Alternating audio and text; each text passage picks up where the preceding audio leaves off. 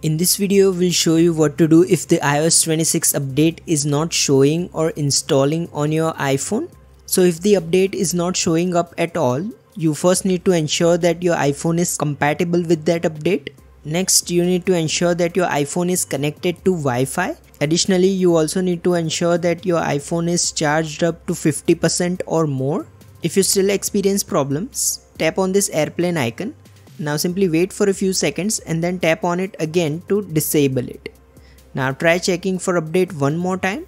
If you still experience problems, go back to the general menu and then tap on iPhone storage. Now make sure your iPhone storage isn't full. If it is, you may have trouble downloading new updates. So make sure to free up storage space before proceeding. If you still experience problems, the next thing you need to do is simply force restart your iPhone so for this you will need to press and quickly release the volume up and down keys and then press and hold the side buttons. So here's how it's done. Simply press the volume up, volume down and then press and hold the side button. You need to keep holding this button until your screen goes blank and the Apple logo appears.